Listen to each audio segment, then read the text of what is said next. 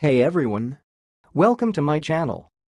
So, right now I would like to present how pronounce this word. Let's start.